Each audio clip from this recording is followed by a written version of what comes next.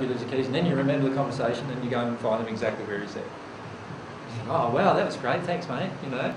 And in the end, he's still in pain. And in the end, probably you are still in pain too.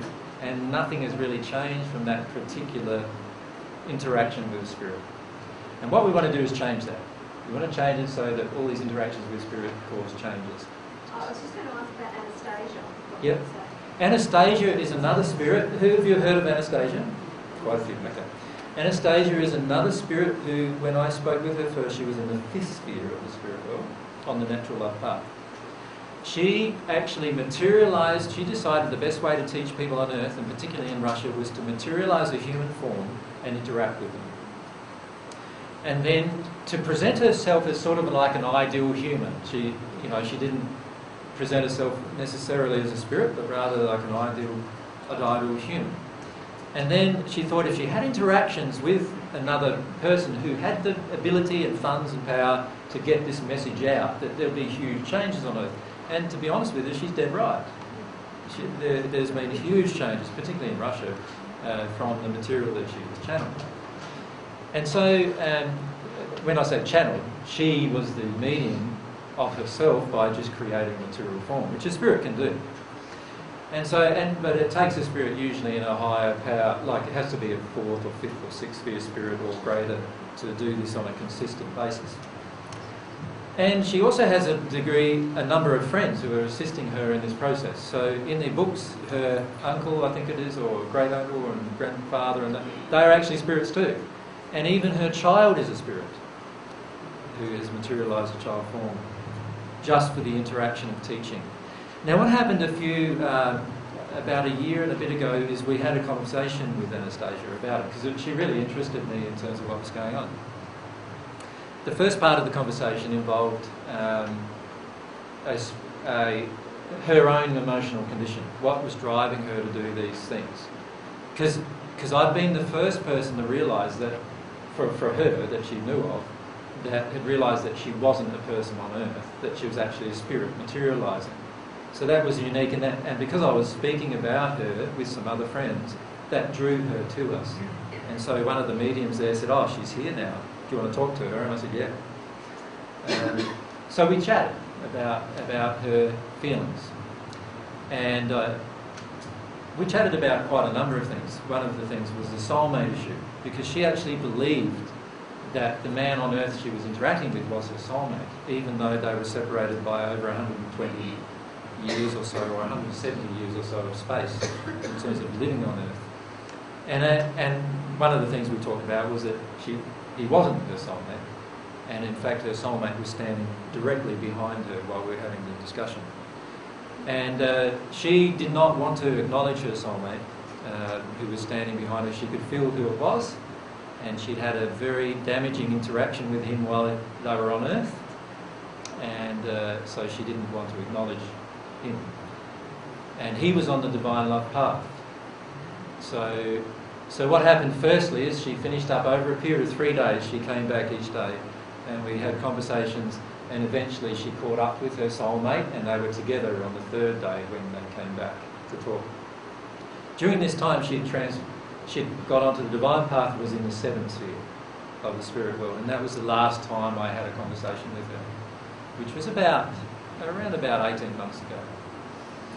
So she's certainly on the divine path, and most probably, I would say now, a celestial spirit, um, and progressing pretty well.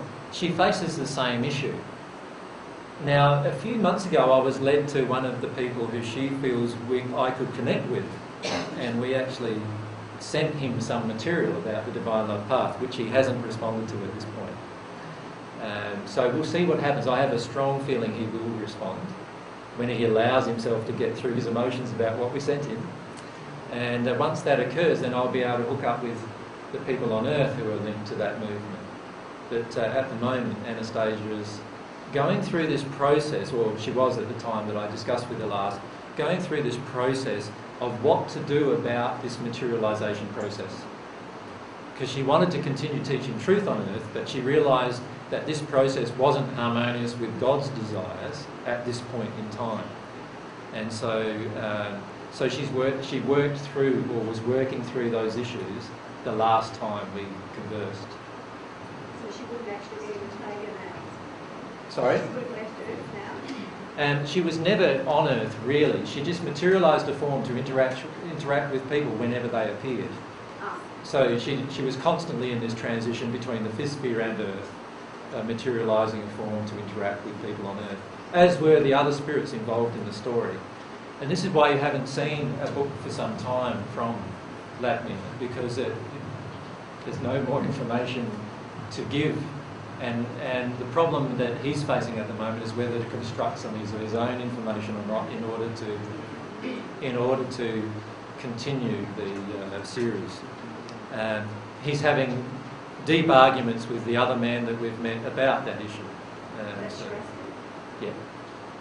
So, so the interaction of those two people at the moment, and that's why when you you were there at his presentation, and you could feel his doubts about the communication about Vladimir.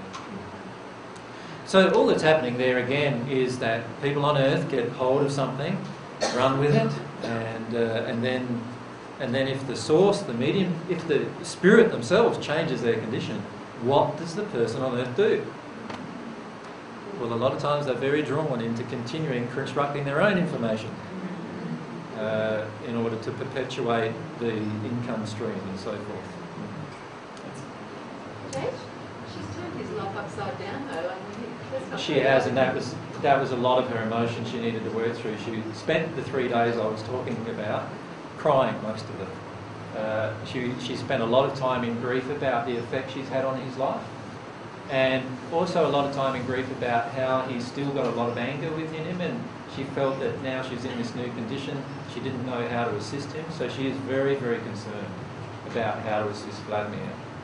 Um, and this is a problem that all of these spirits on the natural love path who interact with humans on earth eventually experience because they've been teaching untruths on earth, or, or a, let's call it a subset of the truth on earth. When they realise the real truth, they then go through these emotions of realising they need to undo some of the teachings that they've taught. And it becomes very difficult because the people on earth have become so engrossed by them and so um, you know, engrossed in actually perpetuating them, that it's very, very difficult for them to convince them to actually change. And so there's a lot of grief that those spirits experience, and she, she's on earth, in earth time, which is a long time, by the way, in the spirit world, she was crying for three days about that, that one issue. Um, just about to finish, actually, so this will probably be the last question. How many people, um, how many human beings can share the same spirit at the same time? For example, St. Francis uh, is a guide to James, and I, I felt touched by St. Francis at a time in my life. Yep.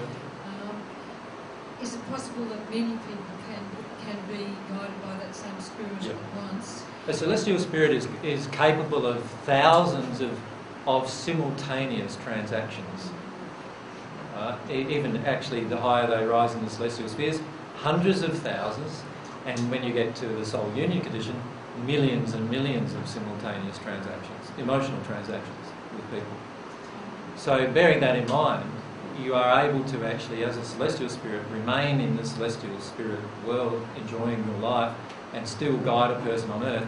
If you can think of it like this, you know, a big, a big computer, like a supercomputer, processes information at billions and billions and billions of bits, pieces of information in a second. So if you're going to think of yourself as processing one piece of information a second, and a celestial spirit processing a millions pieces of information in a second. Can you see how the time they spend with you doesn't have to be very long for you to feel like it's a permanent connection? And that's how it is for the, all those spirits. So, so we could also therefore feel that we've been visited by a spirit such as St. Francis, and then he will move on.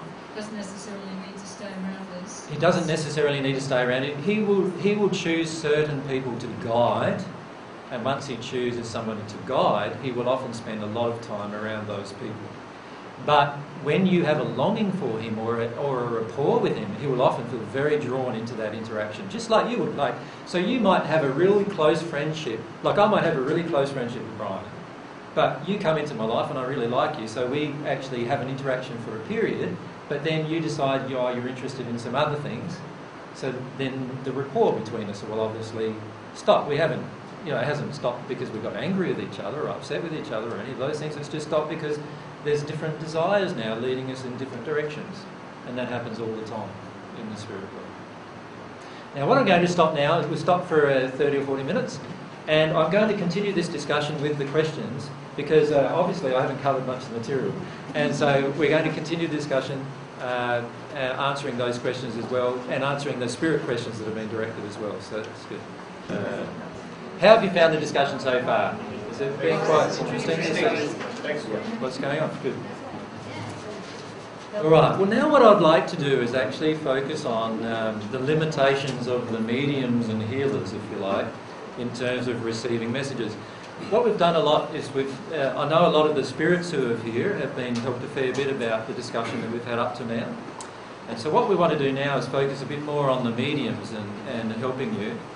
The, the important section, the important part of this session really is that what we're covering now is just really a summary or an overview of what we'll be covering in detail in these monthly sessions that we'll do with you if those of you who are mediums want to come along to these sessions. So the first thing that uh, later in the session we'll be asking how many people feel that they'd want to come along on a regular basis because obviously how many coming is going to determine the location where we can actually meet together. And so we'll determine all those things in a bit. But what I'd like to do for the next hour or so at least is talk more about the limitations uh, that we have as mediums and as healers and look at the emotional condition that we have. So this is on the second page of your handout that I've given you. And uh, I'd like to focus a lot on this section.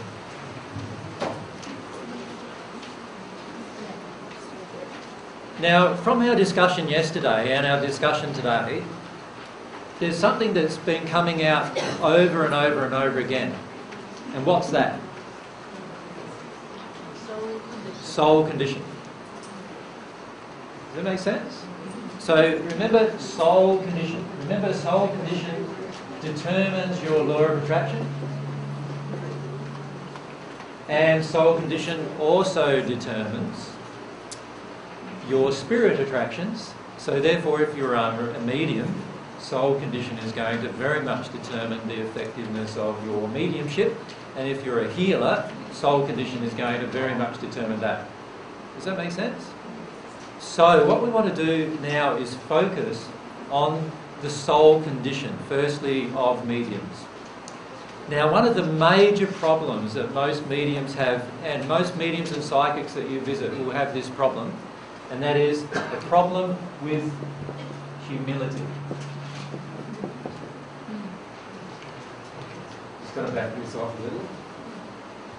So the problem, and perhaps if you could just switch that off, because that's cool. And it's a problem with humility. Now, what are the problems with humility? Well, most people who are psychics or mediums and who have developed their skills and are perhaps using their skills in a cash on a cash basis, or in using their skills maybe in a spiritualist church or something like that, the majority of them feel that they have the gift because of some special, unique quality within themselves that has to do with their soul condition. And they are right. It does have something to do with the soul condition.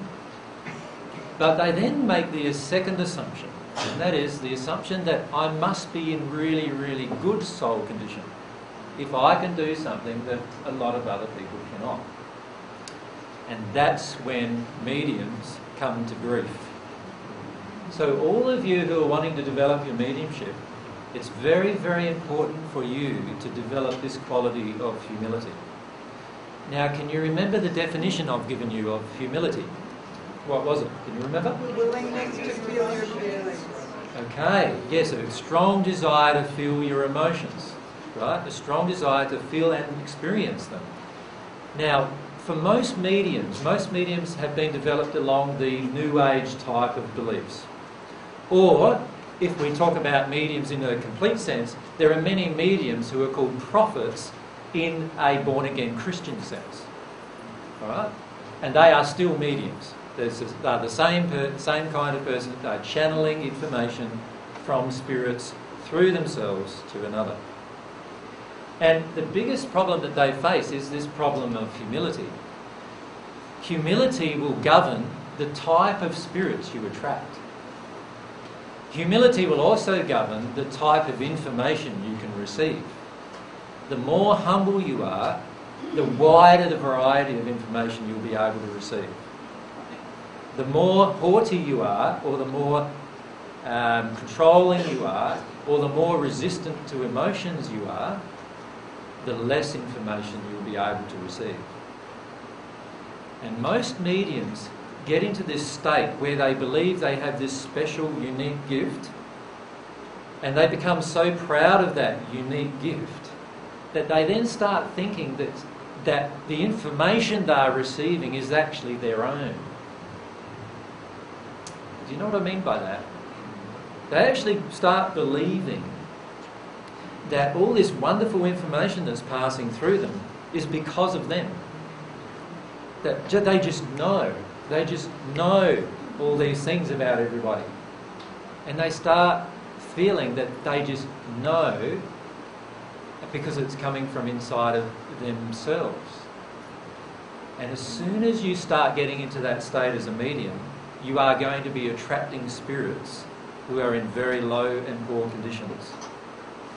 The reason why is really what is happening. Remember, with, with spirit communication, this is really what is happening. Here's me on the earth, my soul, my uh, spirit material bodies, right? Here's the spirit. This spirit is actually communicating, and it depends on what condition the spirit's in and what condition I am in as to how it's communicating.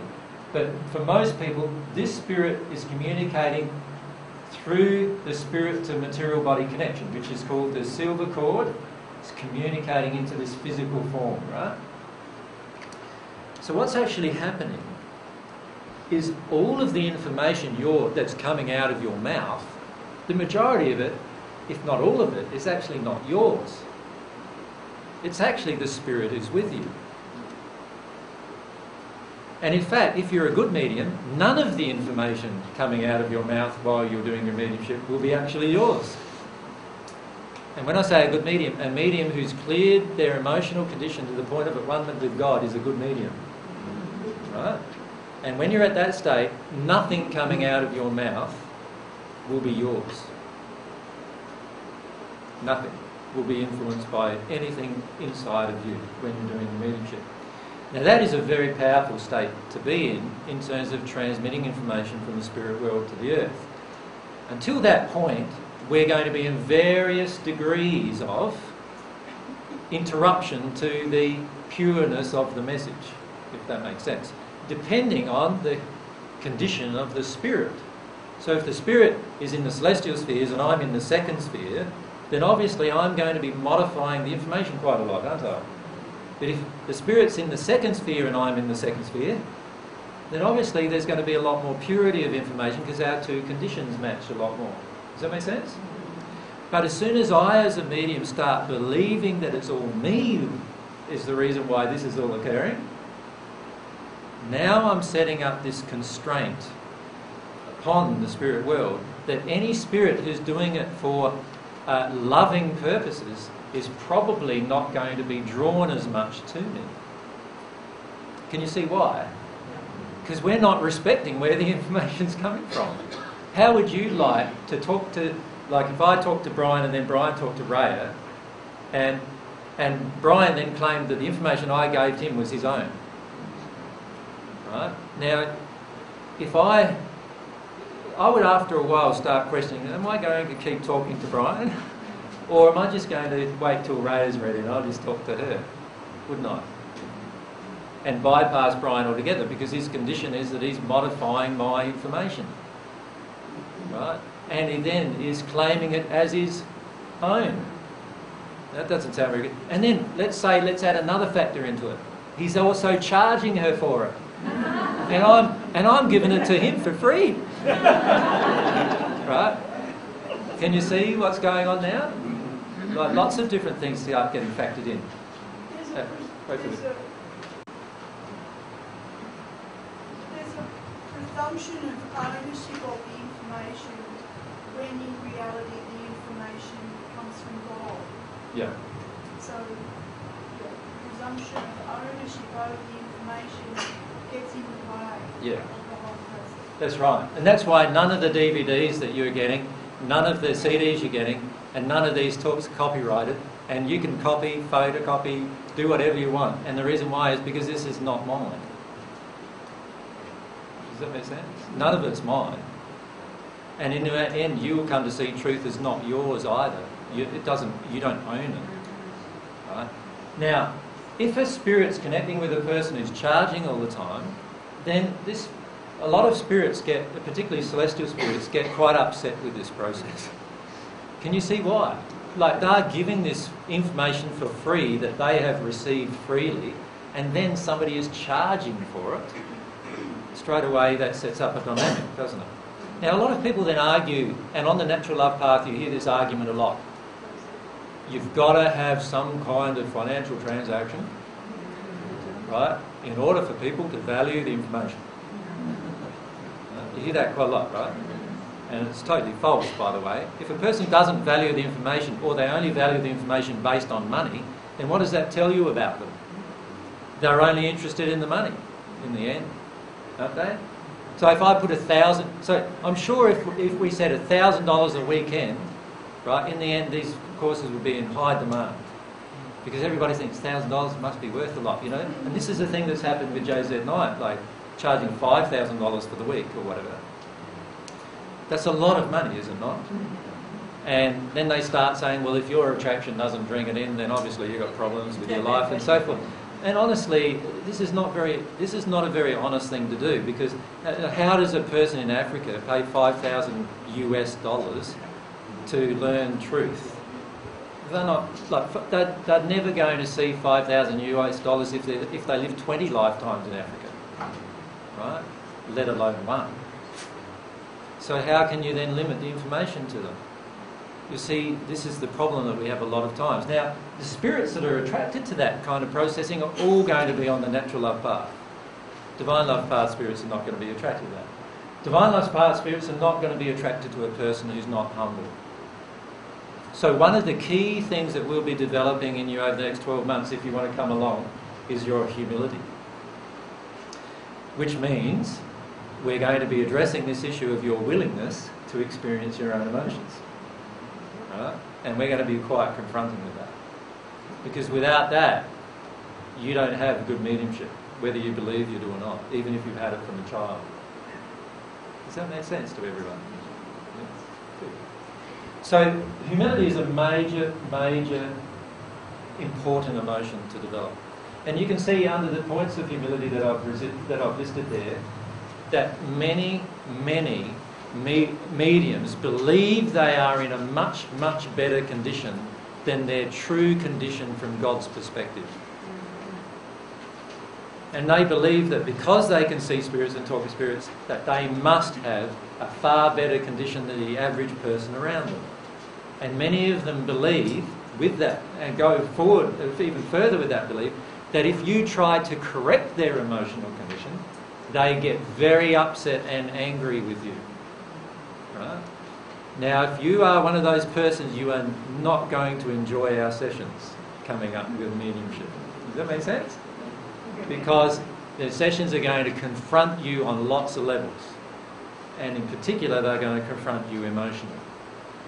A lot of the exercises we'll be doing in, this med- in these mediumship sessions that are coming up will be based around developing your humility, developing your resistance, getting rid of your resistance to experiencing emotion, and getting rid of your resistance to hearing new truth, and getting rid of your resistance, which is called doubt, to hearing truths that are of much higher nature than the earth's actually capable of receiving currently. We want to get groups of mediums in that condition where they can actually receive these higher truths.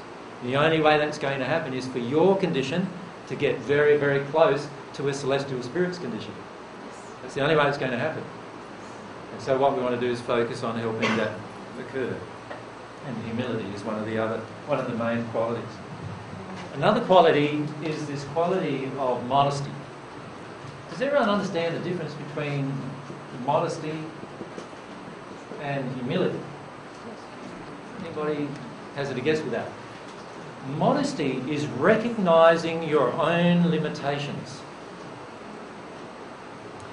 It's a bit different than humility, because humility you will have and retain even when you have no limitations. In other words, when you become a celestial spirit here on earth yourself, you will have very few limitations and you will still have humility. Modesty is understanding where you're currently at and what your limitations are of where you're currently at. Does that make sense? Whereas humility is something you retain as a quality all of your life. Now, the, the quality of modesty is so important as a medium because if you develop modesty, what you're doing is you're knowing that, hang on a sec, I've still got this emotion of anger in me with men. So anything that I channel for a man is going to be tainted with my emotion of anger towards men. And it's a modest point of view to see that. Does that make sense? Mm-hmm. So if I've got angry with men inside of me, and I'm attracting a spirit who has no anger with men at all to talk to this person who happens to be a man, what's going to happen is their lovely message to this man will get modified through my anger with men and give, delivered to this man. And if I don't understand that limitation, I'm going to be drawn into saying that actually, no, this spirit said that to you. This spirit said that to you. You've got to listen to that now. And I actually start dumping my men anger, my emotion that's unresolved within me, onto this man who I'm meant to be helping. Is that a loving? It's not a loving prospect, is it? Now let's flip it over. Let's say I'm actually doing some mediumship to help a spirit. And a lot of spirits are surrounding me, and there happens to be quite a few male spirits surrounding me. So they come along to talk to me. What are they going to feel from me if I've got this anger with men? My anger with men is going to be, dump, be dumping on them. It's going to be quite unpleasant for them to stay in my company, even though I'm telling them divine truth. It's going to be quite unpleasant for them to stay in my company while I've got that emotion. Does that make sense? And so they'll want to maybe leave, or they'll only be able to stay a short time, or they'll listen to you and then realise, oh, hang on a sec, she's saying a lot of that thing and stuff because she's actually angry with men. Like, it's got nothing to do with truth. They don't want to hear your personal truth. They want to, they're, they're sick to death of hearing personal truth. Can you understand that? If you've listened for hundreds and hundreds and hundreds and hundreds and hundreds of years for people's truth, all sorts of truth, like, you know, like you, you imagine here on earth that you investigated a hundred religions are you going to be very tempted to investigate the 101st if, if the person doing the investigation with you is angry with you? of course not, right? Because you've already got all this emotion of just being tired of hearing this personal crap come from everybody. Does that make sense? And this is how a spirit would feel. So even if I'm helping the spirit, I need to have modesty. Just because it's helping a spirit, it does not mean you are better than them. And just because you can channel to a person who can't channel, it doesn't mean you're better than that person either. And if you believe you are, you've got a problem that needs to be resolved if you want to be at one with God. Does that make sense? And so it's very important these two qualities are developed in the medium. Now the problem is on the earth today is mediums get glorified many times. Is that not the case? So imagine for the moment you have a problem with humility. You start channeling some really good information. Let's say you have progressed from the first sphere to the third sphere. Now you're starting to connect with some really good stuff, right?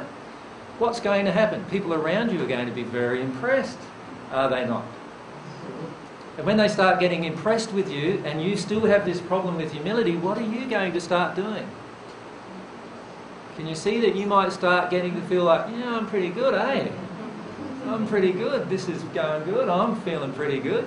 Yeah, I think I'll start charging now, actually, kind of thing. This is pretty good, right? But I'm in high demand and, you know, it's not going to be donation based anymore. I'm going to say 5,000 bucks a pop now, you know. You know, do it, do it, you know, one of these popular medium styles that are around today who are charging megabucks for their services, right? Now, what's happening is your condition is worsening if that happens, right? Because you're getting into a haughty state. And when you get into a haughty state, there's no more humility. You're going to stop connecting with spirits who are willing to transmit that kind of information. Can you see how a quality that you might have had at the beginning with your mediumship might change when you start getting the glory that comes your way? So, one of the things you're going to have to work on quite a lot is how do you respond to glory? Do you want it?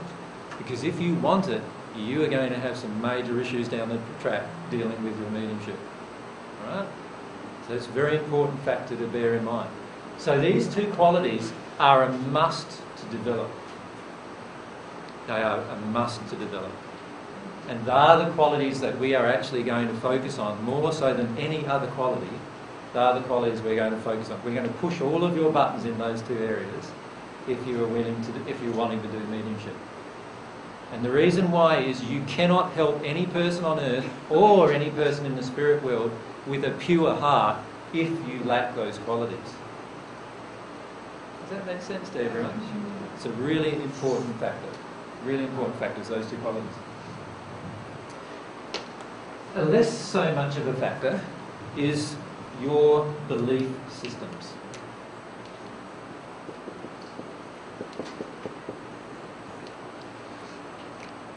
But they are still very important.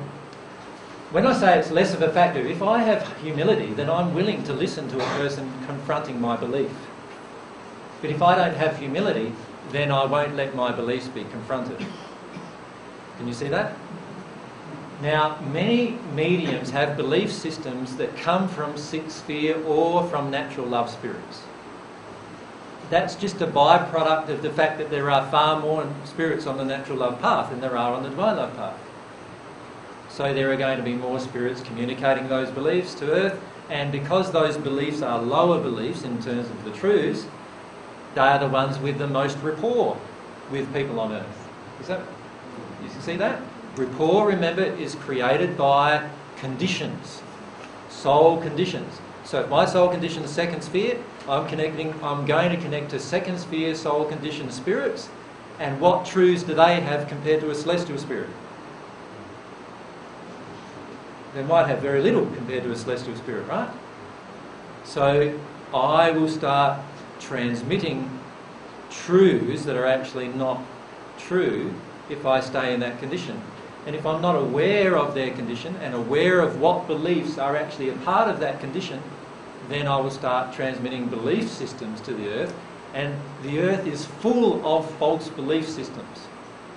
And you know what? The spirit world is full of spirits in pain because of the false belief systems they picked up while they're on earth. So we want to not do that anymore. We don't want to transmit these false belief systems to earth. What we want is we want the truth to be transmitted to earth, which is going to mean that our belief systems, whatever they are, are going to be confronted. And if you're not willing to confront your belief systems, then you're going to find development on the divine love path very difficult. Because most belief systems are of the the mind. They are of the intellect. Follow me? A desire for you to know is what creates a belief system. On the divine love path, you are going to lose your desire to know. Instead, what you are going to do is you are going to experience rather than know. And then you will really know in your heart, in your soul. That makes sense to everyone, doesn't it? Yep. So, any belief systems are of the mind. So, therefore, what's going to happen is your mind will get in the way of everything you do. Now, when you're channeling, there are a couple of different types of channeling that I mentioned later. And when you're channeling, you, might be doing trance channeling. A trance channeling is when the spirit form and the soul of the person steps back from the physical body, and the spirit actually connects and overcloaks the physical body. And the voice might even change, and everything might change. You know, you, the mannerisms will change of the person and everything, right? That's called a trance mediumship. Now, there is a common misconception on earth that when you're doing trance mediumship, you're the most accurate. But what have I said? All transmission is dependent upon soul condition. So why would your accuracy be different? You see, it's the soul condition that determines your accuracy. Right? Not whether you're doing trance mediumship or not. Now, a lot of spirits enjoy trance mediumship because they don't have to wait for you to relay everything. In other words, I, let's say I'm a spirit, Brian's the medium, Ray is the person he's talking to. I say to Brian, Hello, Brian, it's lovely to see you. And then I've got to wait for Brian to say to Ray, Oh, he, he says, Hello, Ray, it's lovely to see you, or whatever, right? And then I, oh, and now Ray, um, please look at your emotion about such and such. And Brian then has to say, Well, he's saying, Please look at your emotion, Ray, about such and such. And I'm, I'm waiting all this time, right? Now, it'll be far better if I could just overcloak Brian and just say all of these things straight to Ray. Does that make sense? Obviously, the communication is far more effective in, from my point of view because I can say all of these things quite rapidly rather than waiting for this, tran- you know, this transmission acknowledgement and then I've got to go again and, and it's a stop and start process. So obviously trance mediumship has its benefits for me as a spirit. So a lot of spirits love doing it. But don't you believe as a medium that it means you're more accurate. Because the accuracy of the information is still dependent upon your soul condition. You follow me? Alright. AJ, where's free will in that process? Transmediumship. I'm allowed to step back from my spirit form. That's just me going out of body, like I do every night when I go to sleep. Right? So every night that you go to sleep, you go out of body. Your soul and your spirit body, you're in the spirit world, you're doing things up there, setting up events, having chat with some friends, doing all those kind of things. Yeah, you're doing much more, by the way, but I won't mention all those other things that you're doing. But what actually happens is you are out of body at that point. Your body is in a state where another spirit could use it if you chose to do so. Now, as a medium, you can choose to go out of body at any time, and your your body can be used by a spirit directly. Right? And this happens all the time, by the way, for many people who do trance mediumship. And you will develop in your mediumship to the point where you will feel comfortable with doing that. Carol. Actually, is it dangerous? Like, could you just not like, stay there and not get? Their, their connecting with your body is totally dependent upon your will. So ones like, Sai Baba and some like that on Earth, it has become dangerous for them because, Sai Baba's free will is that I'm going to be permanently connected to this six sphere spirit, and so the majority of the time he isn't himself anymore, he's the six sphere spirit using his body. That make sense? And that can be quite a dangerous thing to do, not from a physical point of view, but more from a developmental point of view. Because what we start doing is we start assuming because I can do all of these wonderful things and I can levitate and I can do this and I can do that, that it's me that's doing it. And remember what I said about humility? It ain't you doing it, it's the Spirit doing it, right? And if we start thinking it's me, we stop developing ourselves. And if you stop developing yourself, what happens then?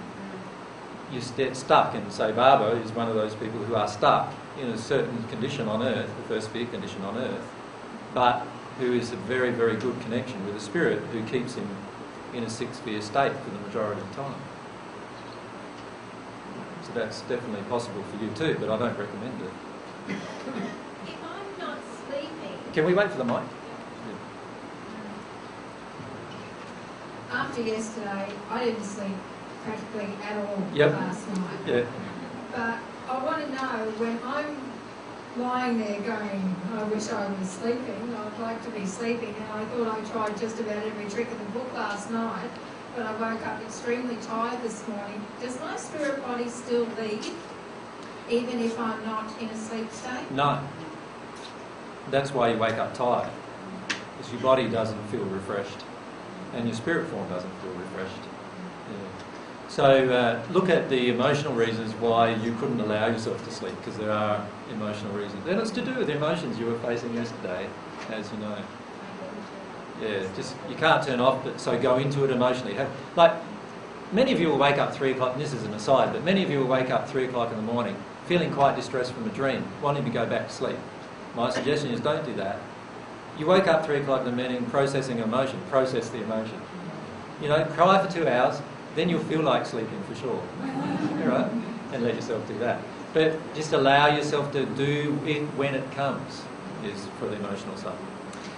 But getting back to the spirit, so so with our, with our, with the mediumship, we need to make sure that if whatever type of mediumship we're doing, whether it be automatic writing, whether it be direct mediumship, whether when, when I say direct mediumship, whether it be relayed type of a mediumship, whether it be trance mediumship, or whether it be soul to soul mediumship, which is where you will develop to. Um, any form of mediumship, my soul modifies the contents of the message. So can you see why getting rid of a lot of your emotional baggage is so important? Right? Because if if you're the problem with being a medium is that people will look to you for accurate information. In the process of that, if the information and you love your mediumship, right? It's an enjoyable gift to, to utilise because you want to help people. But if your soul is modifying the information going to that person, then obviously now you have a culpability as a teacher for what that person is receiving. Now that has its own law of compensation issues associated with it. If your intention is to retain your emotions in a, in a first sphere condition and do that, then there will be law of compensation issues associated with that. Does that make sense? The key is to not be afraid of them, of the law of compensation issues, because they're all based around your intention. If your intention is to deal with your emotions and your intention is to be modest, then what will happen is you'll say to yourself, uh, this guy's come along to do some mediumship with me and I could do a channeling and I can feel the spirit there that wants to talk to him, but I must make a proviso at the start, or let's call it a disclaimer, and that is, I'm sorry, my friend, but I am actually very angry with men. So some of this mediumship that I'm going to do for you may come across quite angry with men, and if you feel that, just discount that because that's probably me. It's not this spirit. All right? However, if you're channeling his mother, who is still angry with men, it might be awesome to give him that message, right? because if, in terms of accuracy as a medium, if his mother's angry with men, you're angry with men, then you're a great medium to give him what for, right? right? and can transmit the message as mum is transmitting it. So can you see you need to know what your condition is and also understand the condition of the person. David, thanks. Just behind you. But won't you be channeling or attracting spirits that are similar to your? Not always, because uh, remember, in the section that I haven't gone through and I won't, I've actually said that there's a there's the law of attraction is working to actually draw who is going to communicate with each person. So, I'm the person who's visiting the medium. Let's say Brian's the medium, and let's say Tristan's the spirit, right? All of us are being attracted together because of our soul conditions. So, so that being said, like my condition, not just the medium's condition, is determining which spirit is talking to me. You follow me? Yes. Because of that, it's the amalgamation of my condition, the medium's condition, and the spirit's condition that will determine the content of the message. So it's not all just about the medium's condition, but my focus is on the medium in terms of developing their condition. But the condition of the person coming to the medium and the condition of the spirit coming to the medium will determine the contents of the message. Now, if you're a clear medium, you will be able to say, Oh, wow, your mum's here, mate. And she is so angry, hey?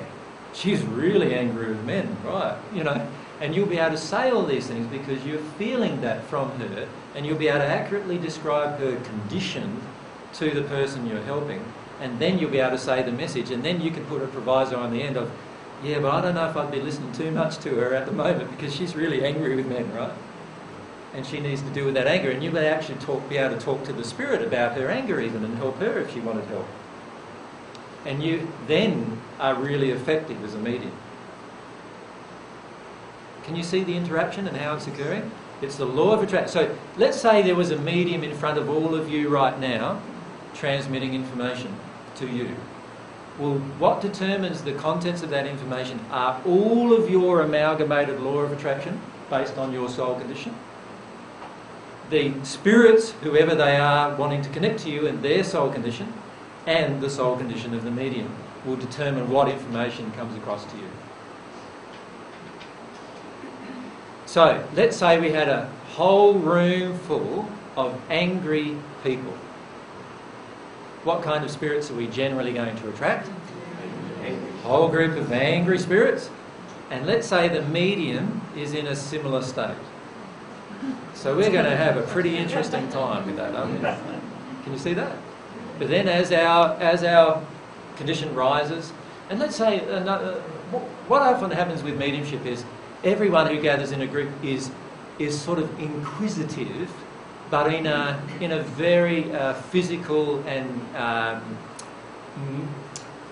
what do you say, uh, making fun of way, inquisitive. So let's say that's the general spirit of the audience. What kind of spirits are going to be attracted? Spirits who feel much the same way, who want to make fun of you. And if the medium's in a good condition, they'll be able to transmit that through you, and you'll get a very interesting interaction. Now, this is all described in all sorts of mediumistic type of literature where these kind of events are occurring. But the big issue is for most, we don't see the law of attraction in the spirit world, whereas the spirits do. So when we're sitting here, we don't see our collective condition. But our, our spirit friends can see every single emotional injury in every single one of you. Right? And the collective emotional condition of every single one of us adds together right, to create a general soul condition for this group. And that soul condition for this group attracts a group of spirits who want to either manipulate that condition or feel similar to that condition, and there'll be other spirits who are very interested in that condition, and there'll be all sorts of spirits attracted. The issue for you is you can't see them. For most of us, we can't see them. But they see you. So it's very much easier for a spirit to describe to you what's going on at the soul level than it is for you to describe what's going on at the soul level here. Does everyone follow that? Matt, you had a question or?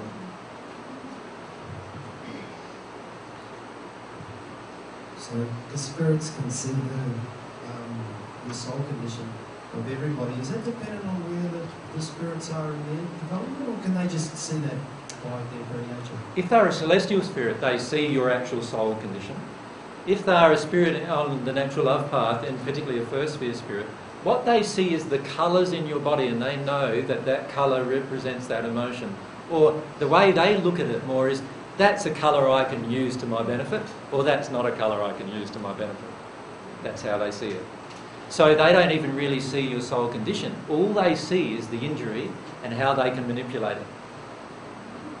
So let's say you're a quite developed person spiritually. However, and in love you're quite developed. However, you've got a problem with alcohol.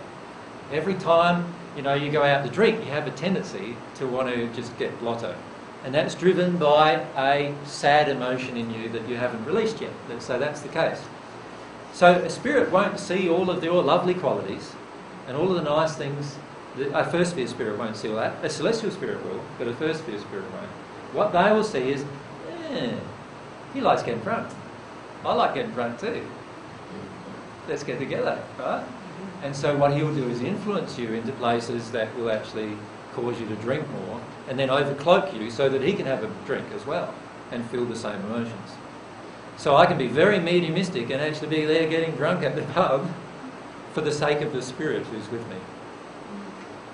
And that's why many people go totally unconscious and yet they're still standing up drinking.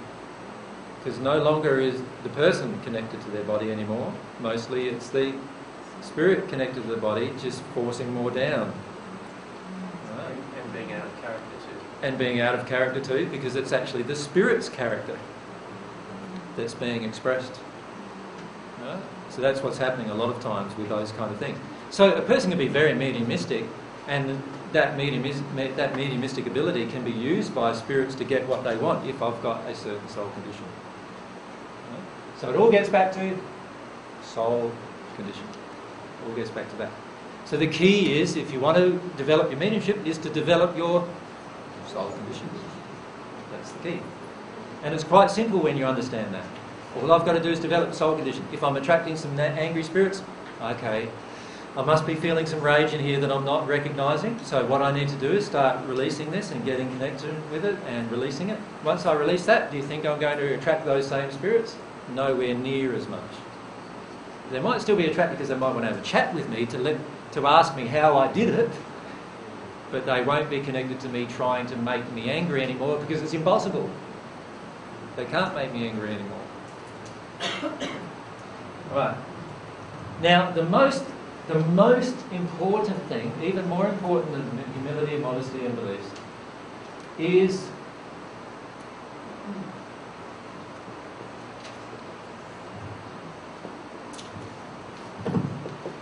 is God's love in your development.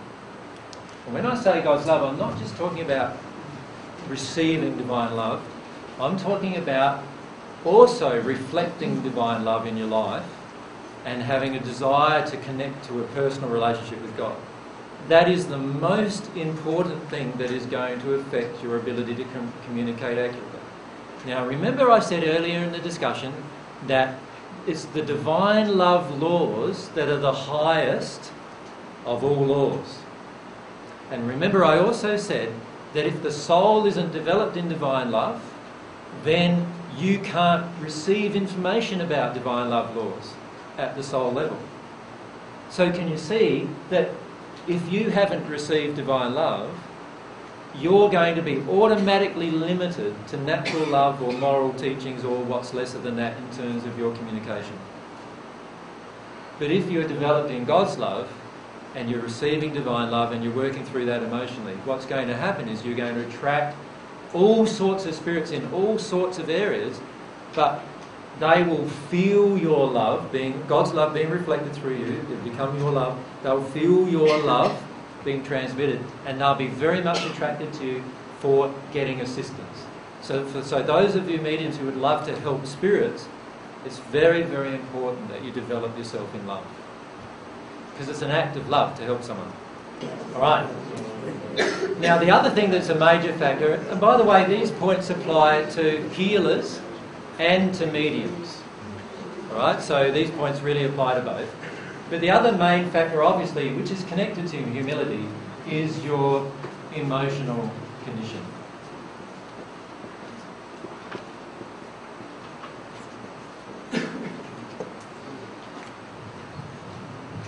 Now, the problem with most mediums on earth is they have he- very heavy judgments about emotional condition. And the reason why they have very heavy judgments is because almost every single spirit on the natural love path has heavy judgments about emotions. So, what's happening for most mediums is the spirit who's looking after them and nurturing their condition, their guide, if you like, has huge judgments about you becoming emotional. And that spirit now is impressing heavily on this medium. And the medium, therefore, often has heavy judgments about you being emotional. Now, if that's the case, how are they going to help you with your emotions? Well, what they're going to say to you is, oh, write down what you're feeling, roll it all up in a little thing, and burn it, and then you're done. or things like that, to that nature, right? They are going to suggest to you that dealing with emotions is an intellectual process because for that natural love spirit, it has been an intellectual process. But that is not the way for you to develop your mediumship. The problem is that most mediums are so focused on not developing their emotional condition, from detuning from their emotional condition, from staying in their intellect, that that severely limits what kind of information can be transmitted to them. It also, if I'm a, if I'm a healer, severely limits my ability to heal. Because again, if I have certain emotions of judgment in me, let's say I have judgment of a single mother. A mother, a mother has a baby, but she's not married. Right? That's my judgment. I'm a healer. And this mother who's not married comes along wanting to be healed. What's the main thing she's going to get? My judgment. Right? And if I can't actually recognise my own emotional condition and my judgment and actually say to her, well, in modesty, I don't know if I'm ready to treat you yet because, because I have this condition inside of me that prevents me from treating you.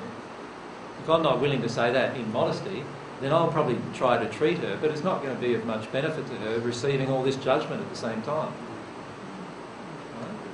So, can you see how your emotional condition will have a huge effect upon the effectiveness of what you're doing, whether you're a healer or a medium?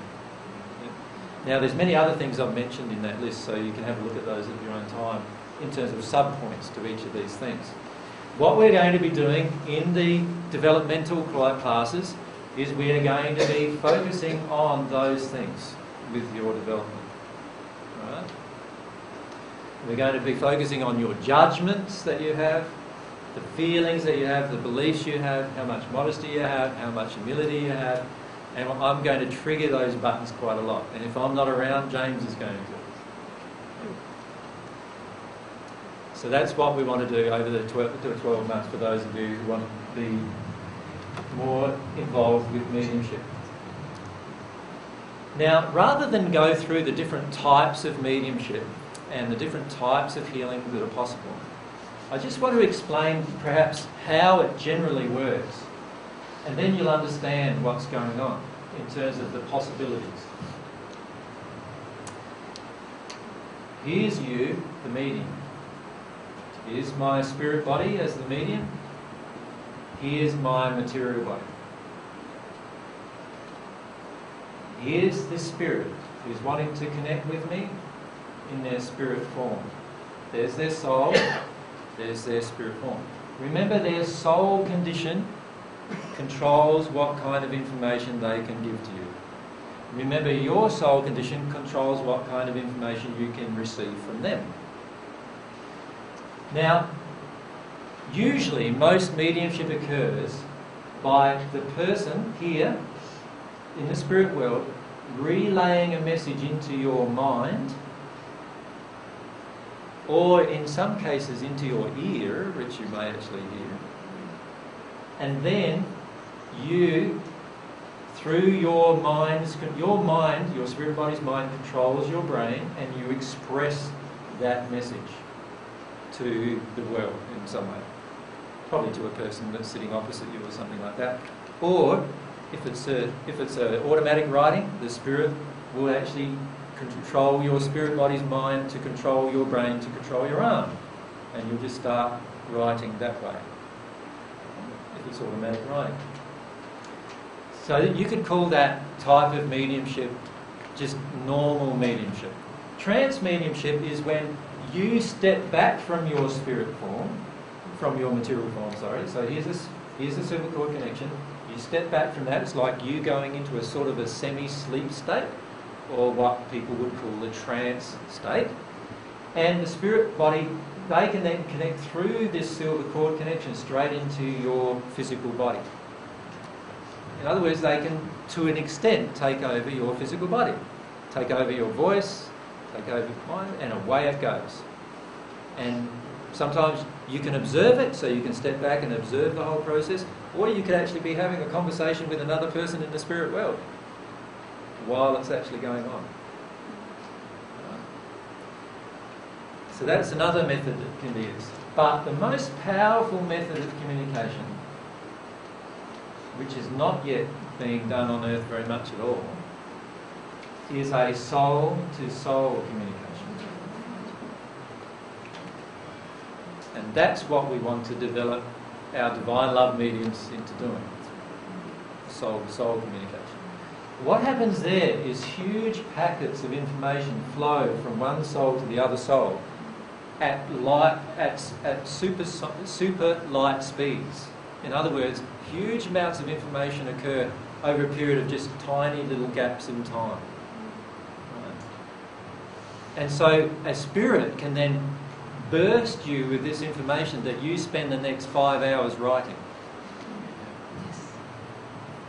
Right? And they've only spent 10, let's say one second of our time transmitting it to you.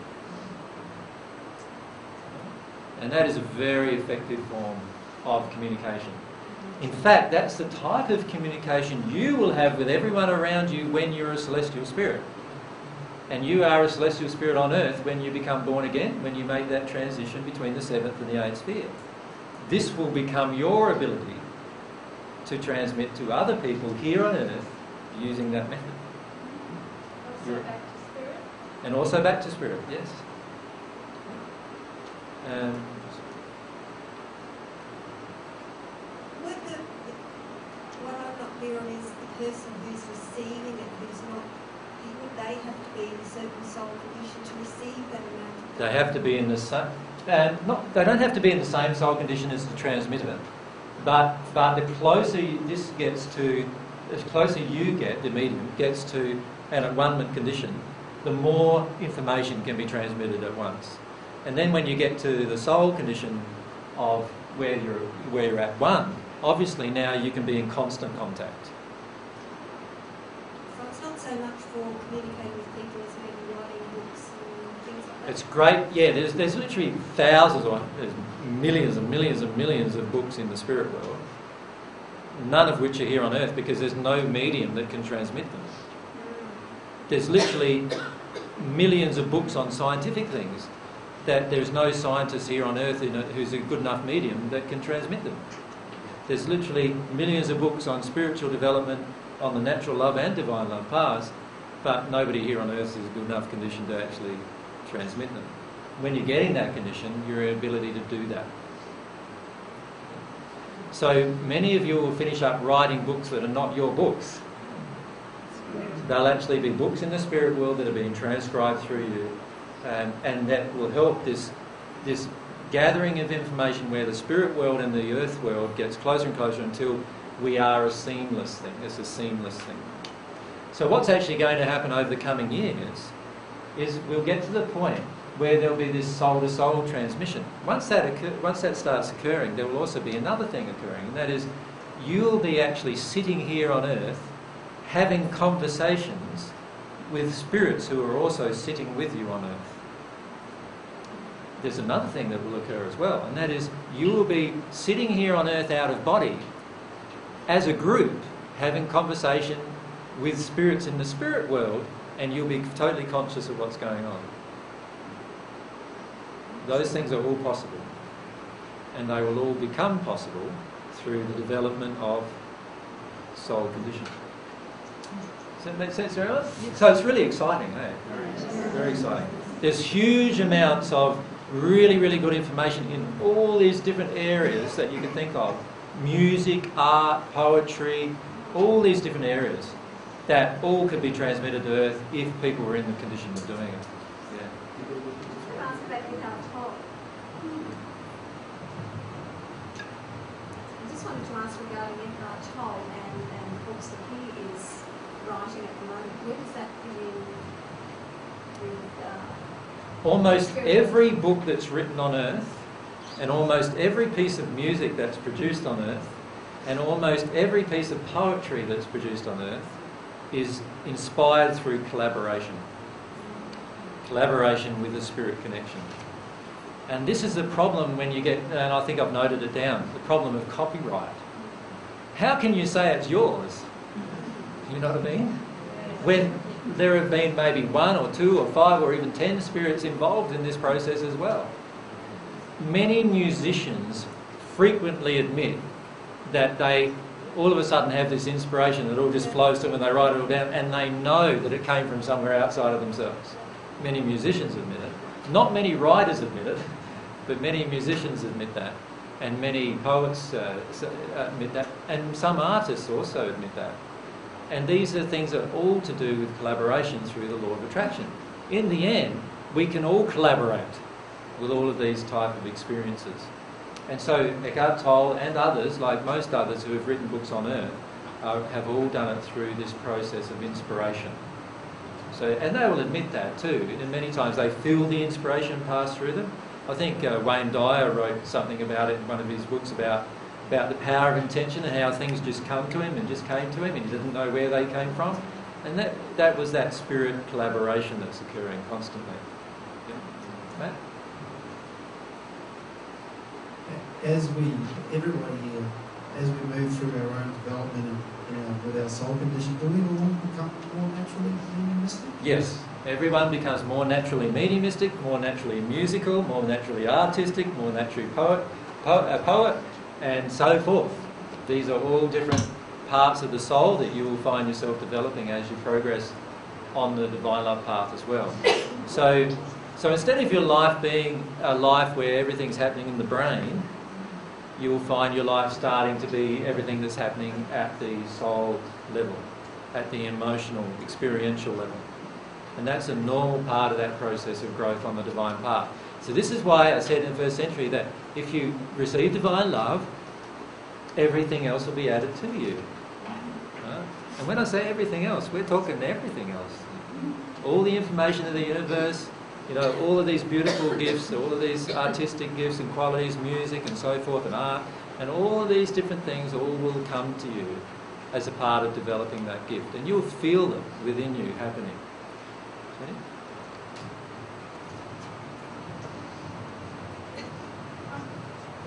I've got to say that I feel a sense of fear.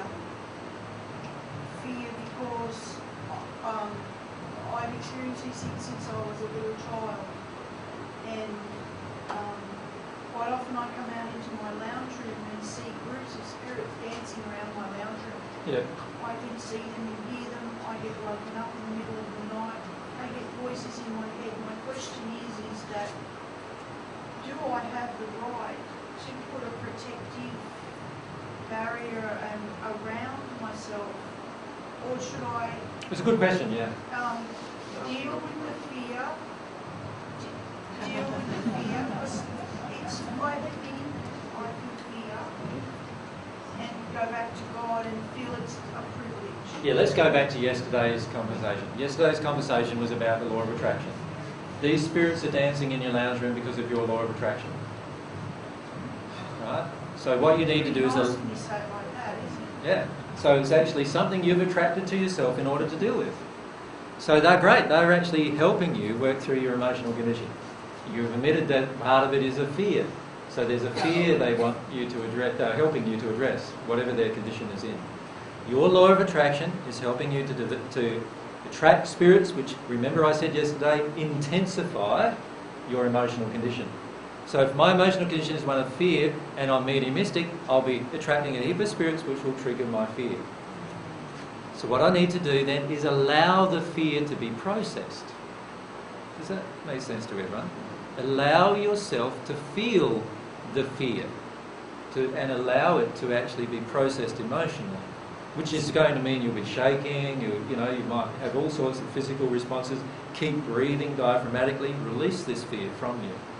So if I put my intention and my attention on my soul condition, on developing and feeling my emotions, that then is my protection. Exactly.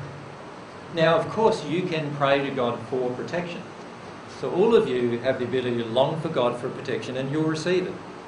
All right? But you need to ask yourself, all right?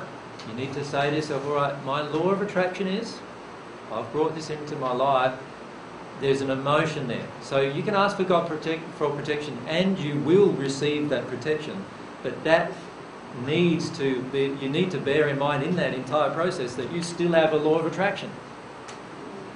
And your law of attraction is there to expose the emotion. So you need to feel the emotion. And it always gets back to that point. Is there somewhere in this whole process a sure knowing that comes? A sure knowing that differentiates between you, um, yeah, I worry about whether I'm imagining things. Yeah. When you make the transition between the seventh and the eighth sphere, everything goes from faith into reality.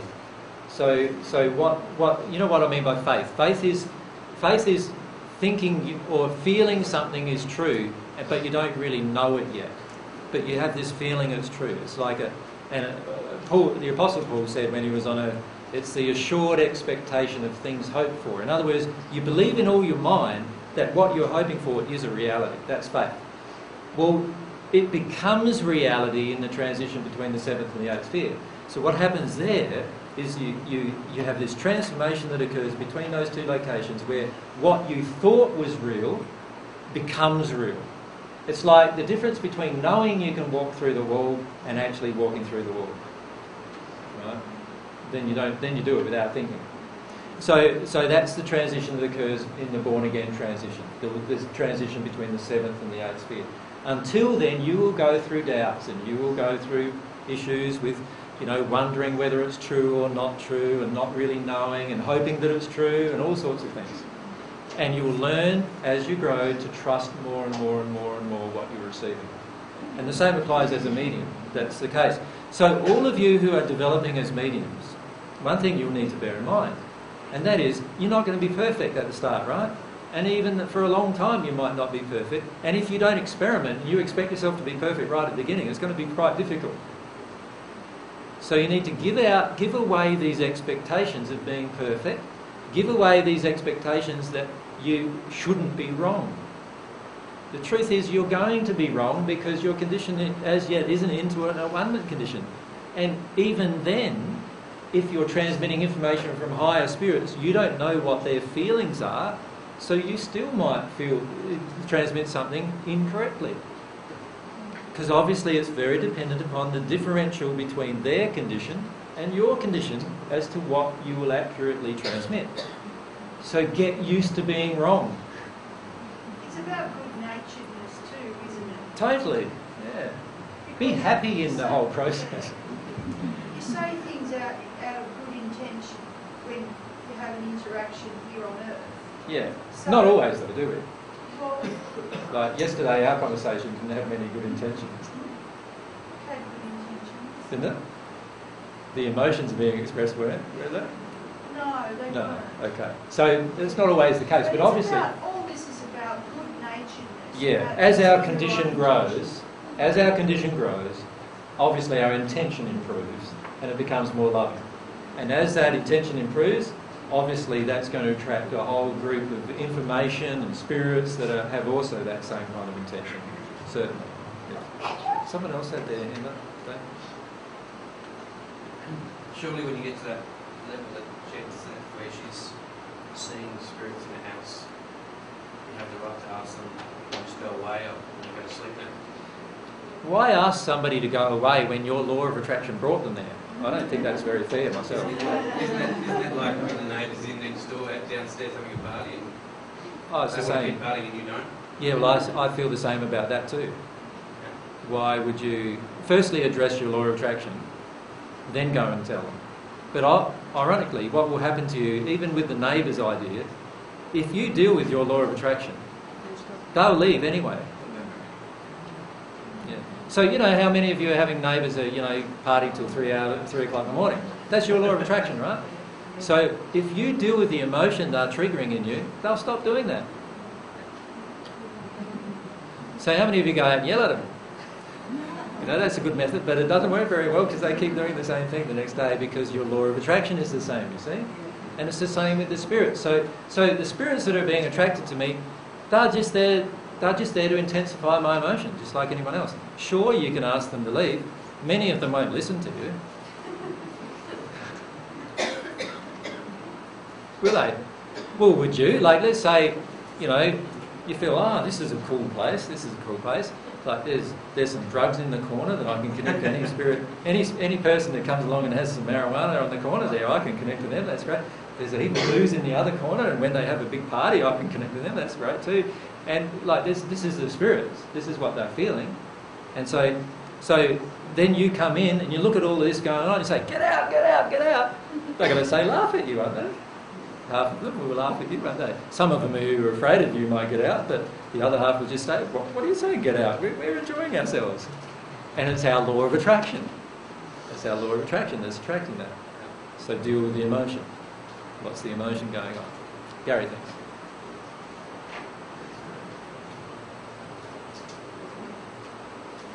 So if you, uh, if you uh, start off and you, if you start off and your um, and you channel something wrong, where there's like a little bit of untruth, and then it affects somebody, you keep doing that, was that the law of compensation, um, come in there?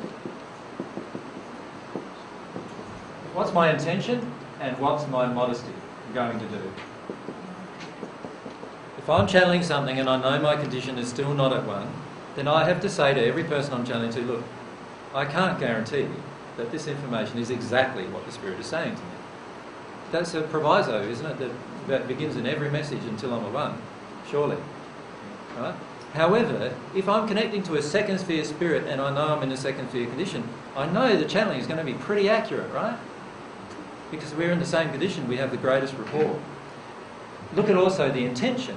What's my intention? Is my intention to harm the person, or is it my intention to give the most accurate information that I'm possible to give, that is possible for me in my current condition to give? And you could say that to the people who come. You can say, look, my intention here is to give you the most accurate possible information that I can possibly give you, given my current condition. And then, when you give them the information, whose responsibility is it now? It's now their responsibility, isn't it? And by the way, it's also their law of attraction.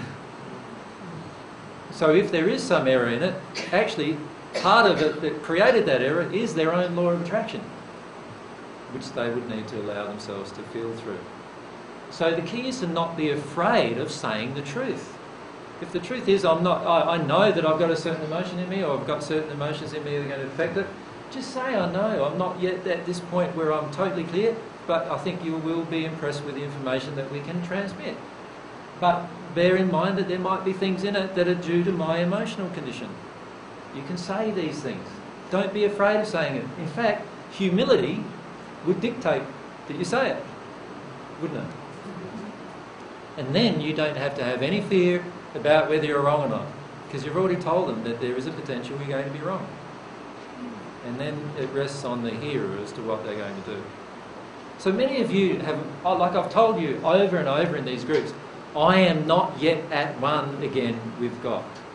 So there, all of the things I'm saying to you, there is the potential for me having to change them some down, down sometime down the track. Is there not? Right? And all of you need to bear that in mind. However, I am very close to the condition, and I know I am, but you don't have to believe me. You will feel it if you trust your soul. You will feel what I'm saying is truth, or you know, you'll feel the resonance going on. And anyway, it's your law of attraction. So look at that. You see what I'm saying? It's the same principles with any interaction that you have with anyone. With regard to healing, though, for a moment, I'd just like to talk about healing. What's actually happening with a lot of healing is that when we're healing, so let's say I'm the, the, the healer on earth, I have a spirit with me. All healing occurs through a spirit, by the way, unless you connect directly to God and then it's through the divine love connection. Now, obviously, that is not going to work purely until you're at one with God. Until that point, you will be assisted by spirits. Now, the spirits who want to heal the material body are going to be spirits who are not on the divine path. And the spirits who want to heal the spirit body are going to be spirits who are not on the divine path. Because what does a spirit on the divine path want to do? He wants to heal the soul. Now, that spirit on the divine path is very happy to heal the material body and heal the spirit body as long as the soul condition is being addressed. But if the person, the person being healed, refuses to address the soul condition, the ethical question I have to ask myself as the healer is do I want to be involved in healing this person? The reason why I need to ask that question is because if I am trying to heal a person who doesn't want to address their soul condition, straight away I'm in disharmony with divine love, so I'm now only harmonious with natural love. Secondly, a spirit who's going to heal the person will be a natural love spirit. Thirdly, I'm going to heal their spirit body or their material body. Their soul is not going to be healed. And what's going to be recreated? The same illness, most probably. So, in fact, it's not a very wise use of my own time. However, if I'm charging money for it, I might be tempted. Can you see how money mixed into the deal causes some conflict inside of us? Grant.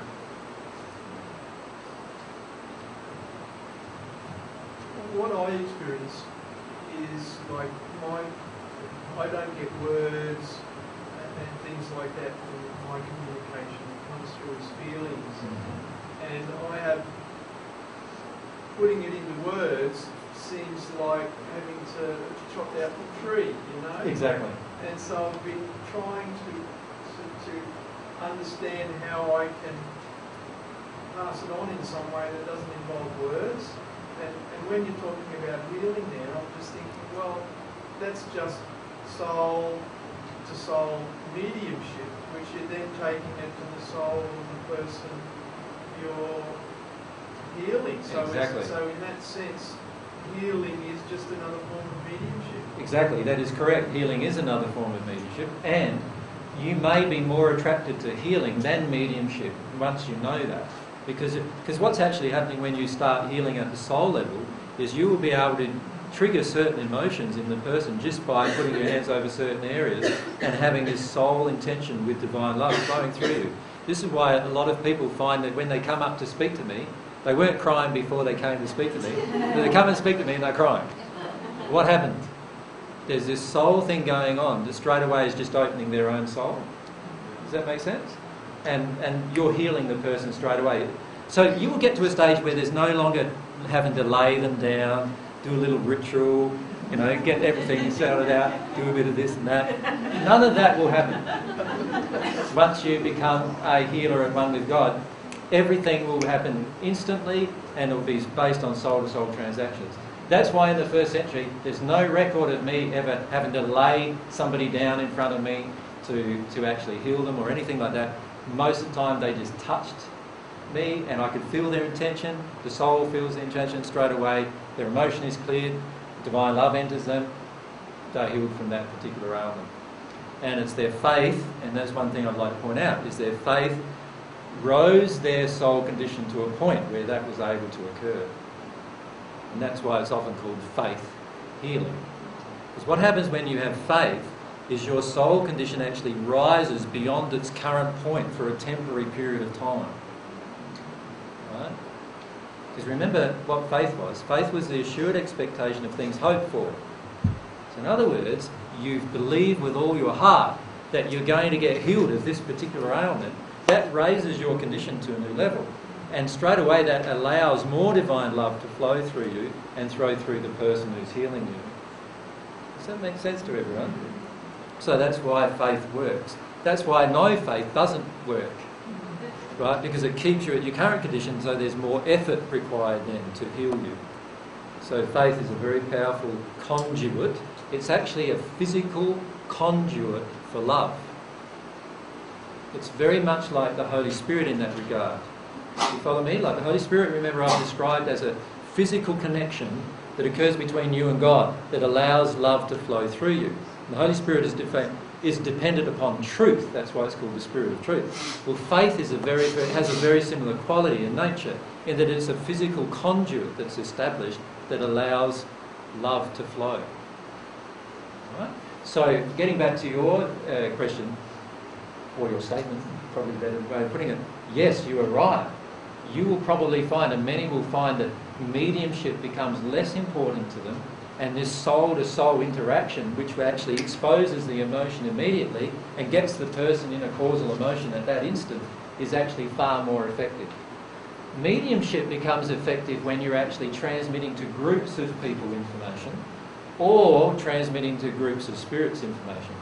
It becomes very effective. But healing is very effective on a one to one, on a one to one thing, trying to help a person experience emotionally. And that's, that's something that's very important. Um, Carol first, and then up the back there.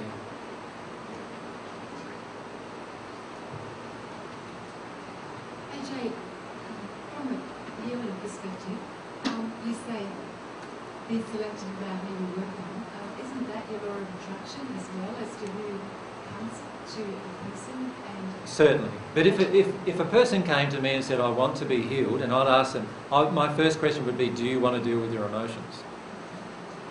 Hmm. Now, if they said, Oh, well, I'm hoping you'll heal me, you know, I won't have to deal with my emotions, I would have to say to them, Well, actually, your problem is caused by your emotions. Do you realise that? And I'd have that discussion with them and look at their willingness to actually address that issue. If they can't address that issue, then I would not heal them. Now, the reason why is if I choose to, I'm out of harmony with divine love. And I don't want to be out of harmony with divine love. And this is where, in the future, many people are going to become confused with the healings that are performed by people, that, well, the 14 who have returned. Because all of their healings will be based in harmony with all the laws of divine love, and at times we will refuse to heal people. And in the first century, there is records in the Bible that I actually refused to heal people. And I did that for that reason.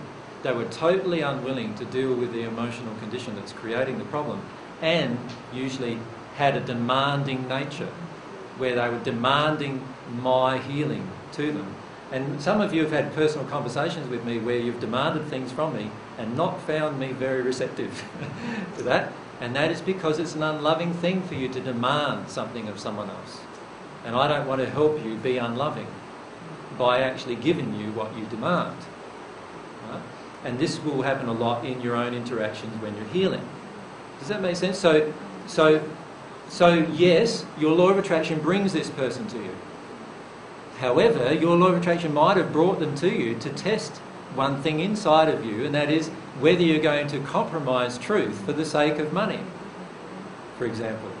So it might not be the person coming to you for healing that is your law of attraction. It might actually be that there is a certain quality inside of you that needs to be refined that this person, through your interaction with them, will refine.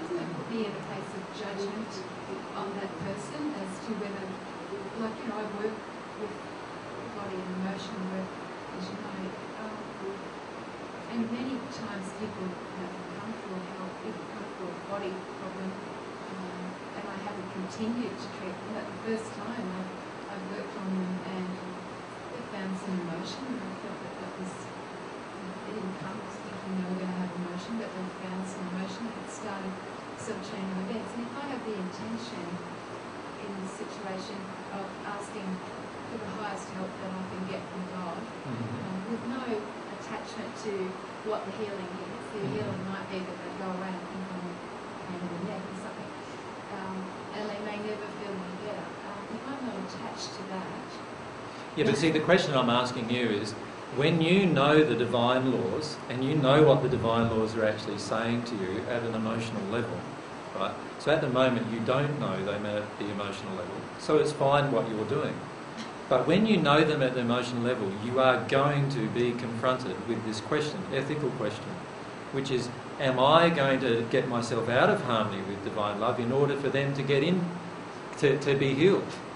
Now, love, one of the things we talk, we talk about lessons of love in a fortnight's time. One of the lessons of love is if I'm loving you to the detriment of myself, then that's not love anymore and I'm doing it for another reason. And it's also going to be not a very powerful place for you or I to be in. So that is a question that will face you ethically. Right? I'm not saying you have to deal with that question right now, but at the moment there's a feeling in you, if I can heal, then that's fantastic. But I don't feel that. I don't feel that. Because their law of attraction has caused their disease.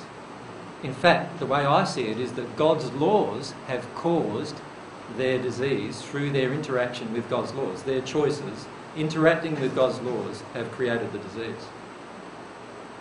And the question I'm asking myself is is God healing them? Now, God loves every one of His children. And if He's not healing you, there's a, there's a question as to what I should be doing healing you. Can you see that? Right? So I would rather address the emotional issues in you as to why God's not healing you. And then God can heal you directly and you don't even need me at all. That would be a far more powerful place for the person than me actually healing them. And that's my that's the, the ethical dilemma that you will face as a healer. Does everyone follow that? Like, you can see that interaction. So, so what's actually happening for us most of the time when we're doing, dealing with these questions is we have a needy feeling inside of myself. We, we feel a compassion for that illness. We have a needy feeling in inside of myself to heal that illness, but we're often not very much thinking or feeling about why God isn't already healing this illness. Because God has a lot more power than you do to heal. So the question then becomes why isn't God doing it? There must be a reason. Now, if I do it without addressing those reasons, then I'm going to be out of harmony with God's will. Only treating the. Sorry? Only treating the symptoms, I'm only treating the symptoms, the effects, and not the cause for a start. But also, I'm out of harmony with God's will for that person. Because the truth is, our law of attraction is bringing us everything anyway. So, when I'm healing, and this applies to my mediumship as well, if I'm focusing on what God would do in this situation, right, as well as, as best to my ability, what is God doing right now? Do you think, do you think if I needed to be healed right now, and there wasn't something in me resisting that healing, don't you think God would be healing me already? Like, does God love me or not? Of course God does. So God would be healing me already. So if I'm not healed, so I'm not healed from this, right? From this. So why aren't I healed from this? Because I have resistance. There's something in me that's resisting me getting healed from this. Now let's say I go I go to a healer, I want my eyesight healed. And let's say it's a divine love healer on the divine love path who's at one with God. And what would they have to ask themselves? I'm on the divine path, they're on the divine path. I've got bung eyes that I can't see the back of the room, and they've got clear sight, they're at one with God. I'm both, we're both on the path. Why isn't God healing me? Because I'm resisting it. There's an emotion in me that I'm not willing to deal with that is causing this issue. And it would be wrong for them to interfere with that process. Not interfere with the process, they could tell me what the emotion is. That would be a very powerful thing to do. They could, they could even help me. They could say, Now, are you willing to deal with this emotion? And if I said yes and I felt yes, they could say, All right, let's go ahead and we'll deal with this emotion. And away I'd go and I'd be dealing with the emotion and I would get healed. That's a very powerful thing to do. But if I said, if they said, are you willing to deal with the emotion? I say, what emotion? I don't have any emotions left. I'm right. You know, then I've got an issue, haven't I? I'm not recognising my own law of attraction. So it then becomes very questionable for the person who's at one with God to heal me. How can they stay at one with God and heal me? They can't actually. And so they would have to actually at some point refuse unless I was willing to do bring myself in the condition of harmonious with God's love myself. Can everyone see that? Yeah. That interaction that's going on there. So the question you ask yourself God has this unlimited power, right? God has this unlimited love for you.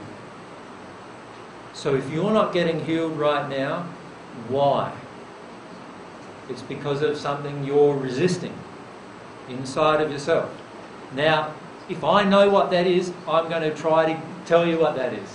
Because that is an act of love for me. Right? And if you know what it is for someone else, it's an act of love for you to tell them what it is. For, you, for them too. But if you try to heal them using this love that you have, this divine love, it won't be God's love that you'll be doing. You'll be using your own energy to heal them. Right? And because the soul condition has not changed, they're most likely going to get the problem back anyway. Karen.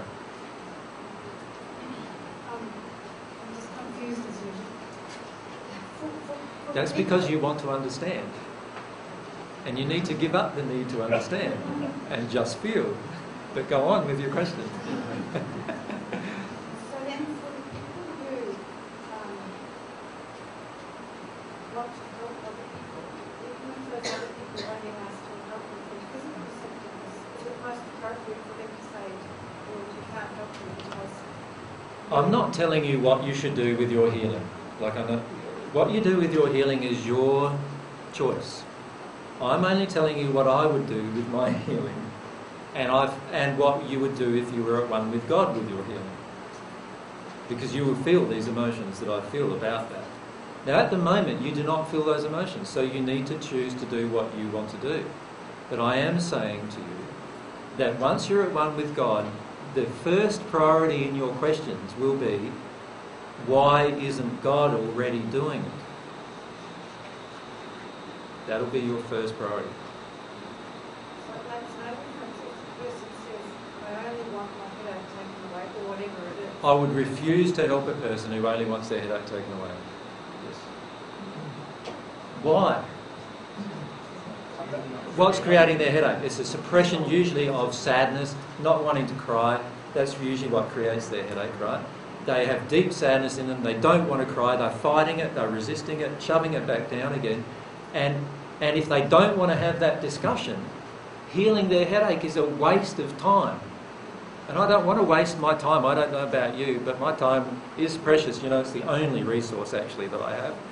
And although I have eternity with it, I want to use it in the most possible, the best possible process, just like God does, right? In the most economical way.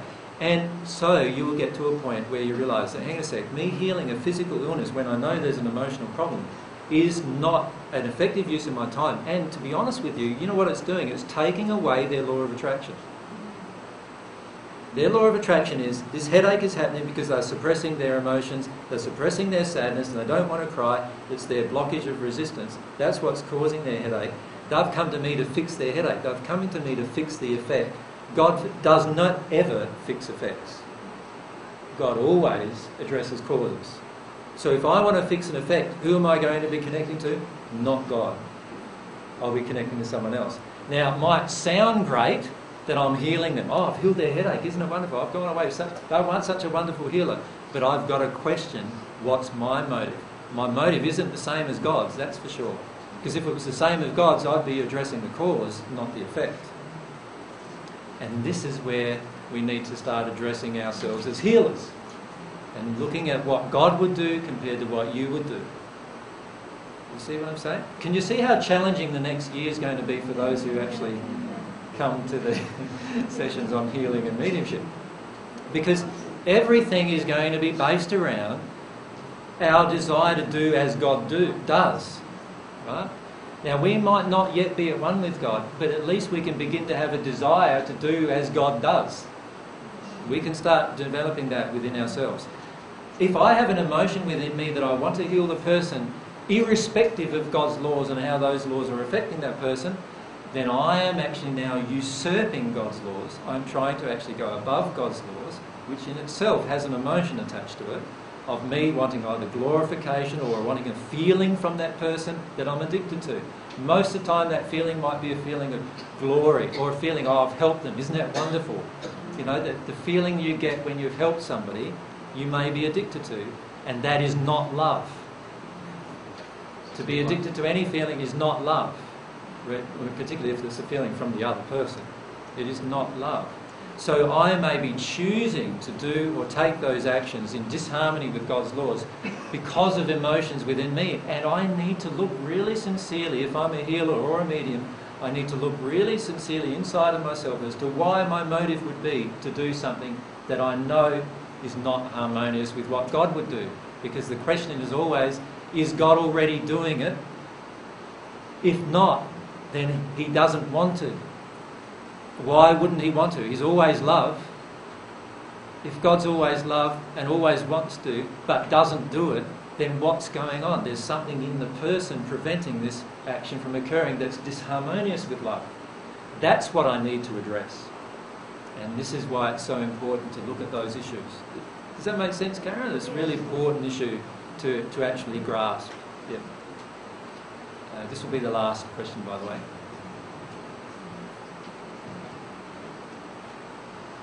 Paige, I just wanted to ask if your intention is to do healing work, um, and mine in particular is with children, Mhm. I eventually want to be able to do that. So I've got to wait till I become one with God to do that No. effectively. But yeah, to do it effectively, the best possible way you will, but you don't have to wait till then. In fact, I'm not suggesting you need to wait at all. Yeah. Yeah. So, um, and probably for other people in the room too, they would want to do that with people. Yep. Um, you know, can several of us join this group or do we? Yeah, no, anybody who wants to do these things, join the group. But realise that it's going to be a program, so it's going to be a monthly program type thing where you'll be developed in certain areas. Do you follow me? Yeah. So come along, certainly. So it's not limited to just people who are already doing it or anything like that. If you want to do it, come along by all means.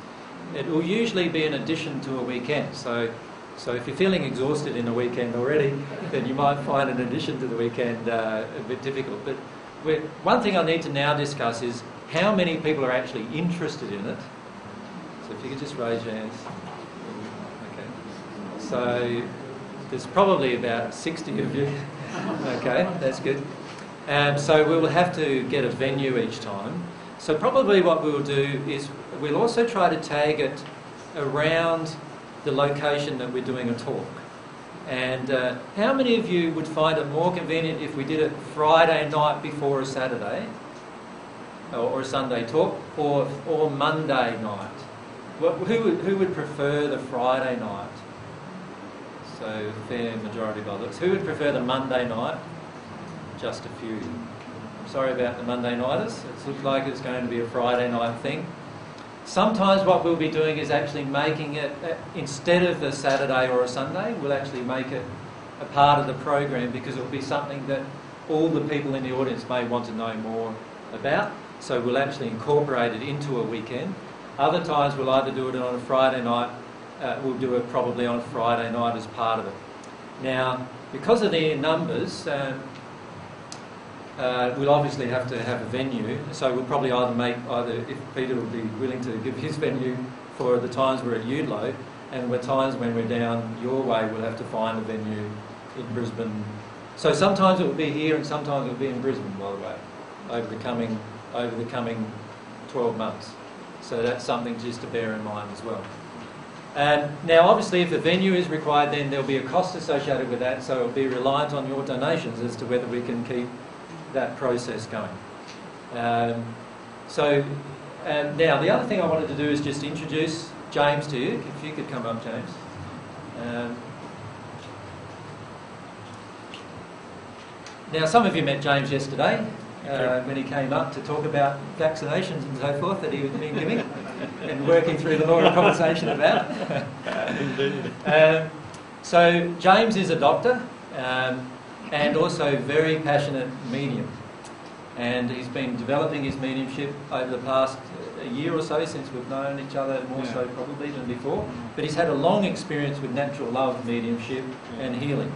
So um, that's the reason why I've asked James to be involved in this. Now, what will be happening is if I'm not around, whatever I've actually talked about with James, James will be talking to the group about. Now, James has a, a divine love guide with him, that's St. Francis, or Francis is his guide. And so, a lot of what will be happening is that James will actually be giving you exercises to do with your guides that Francis will actually be suggesting. Alright? Because Francis is actually helping James work through his stuff.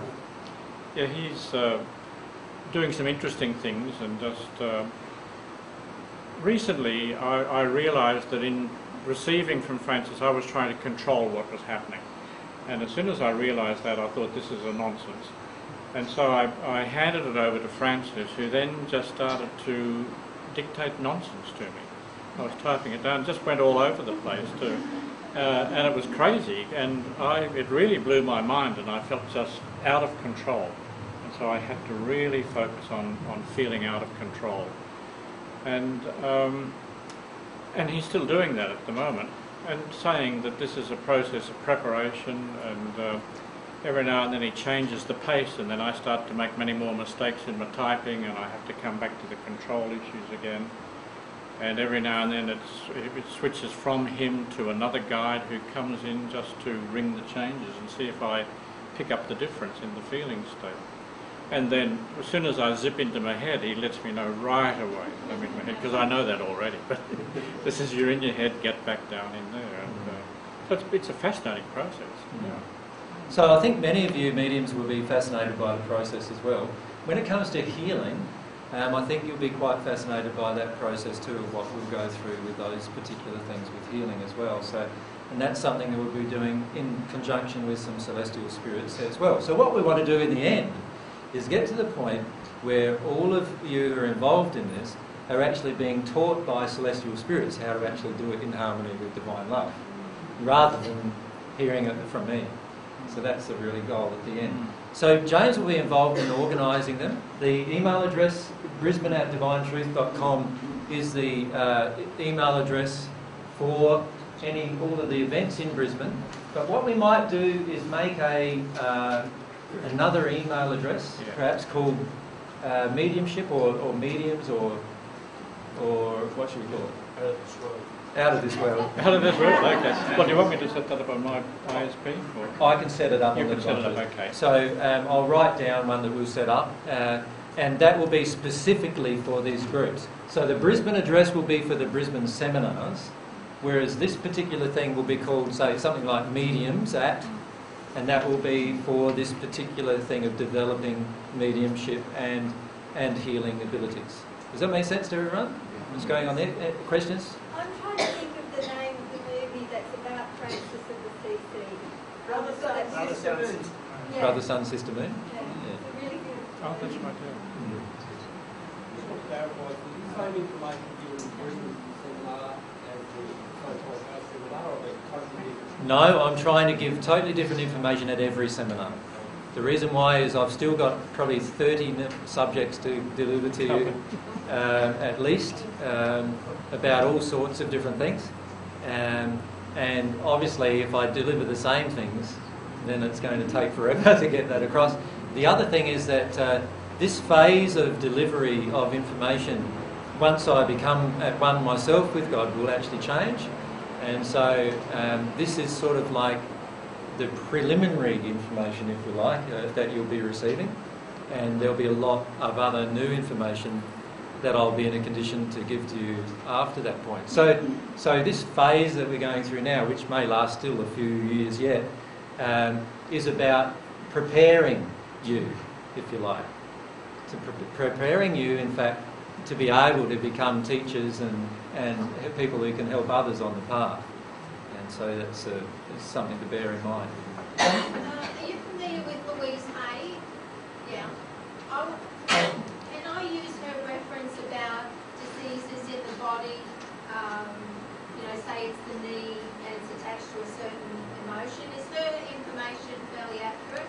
A lot of the information in her book and also the book Barometer of the Soul um, are, is accurate information. However, every single person is different, and every single person has different emotional blockages in different areas and different events that have triggered those emotions, and different blockages preventing the experience of the emotion. And therefore, the intensity of the illness, the intensity of the injury is going to be dependent on lots of different factors besides what's mentioned in those books. But you can certainly use them as guides, certainly. Yeah. In time, what will happen is you, you'll be able to interact at a soul to soul level with the person and understand what the emotion is now that they're ready to deal with right now and actually trigger that emotion without any words really changing place between the two of you. Is there any questions you want to ask uh, James while he's in front of you? When do we start? When do we start? Um, we have our first seminar in Brisbane on the 7th and 8th of March, and so um, what I'm going to do is, is get together with James over the coming four weeks, and it's probably going to start, the actual mediumship stuff will probably start in April, and at this stage it's looking to be the third or fourth week in, Weekend in April. weekend in April, which is after Easter. Um, so that'll be the time probably when we will first start doing doing this. Any other questions? Now, James is a very humble man, and uh, and he's going to get some triggers during this process, obviously as You well. got your boots. I've got one or two already. and uh, and many of you will be tempted to override him at times. And uh, it's going to be interesting to see how you handle that with your humility. So uh, my suggestion is to to actually listen very carefully to what's being said, um, and uh, and how you're being developed, and really to focus during the month that you're away from the group, focus on developing these different things and use the group as a forum to actually discuss what the effectiveness is of what you've learned and then also to, we'll be presenting new things to try for the next month. So you're going to need to be prepared like like to do homework, you know, basically. Yeah, Study to, buddy. To actually yeah, to actually get into the process of doing it quite regularly. Yeah. So what realistically, what are we looking at as a time commitment here? Um, we'll probably have one to two hour sessions uh, when we meet. Um, probably they'll finish up being two hours, I I would should say. think so. Um, and, and then after that, it's up to you what you do with what you've learned. But obviously, the more you do with it, the more fun you're going to have with it, and the more effective you're going to become. What Could I say that one of the first things Francis said to me was avoid caffeine, avoid alcohol, avoid heavy foods. So if you're coming along to one of the nights, stay away from meat, anything meat, dairy, if you can, and also avoid alcohol and coffee. Uh, anything with caffeine in it, avoid. Yeah. Um, the reason why is all of these things change the structure of your uh, of your physical body and your spiritual perception, and the reason why is because it is affected by your soul condition as to why you want to take those things that particular night. You follow me? So your any addiction to caffeine, any addiction to food that's heavy, any any meat products and so forth, and, and animal products, your desire to have them is based on an emotional condition which will prevent your mediumship from growing.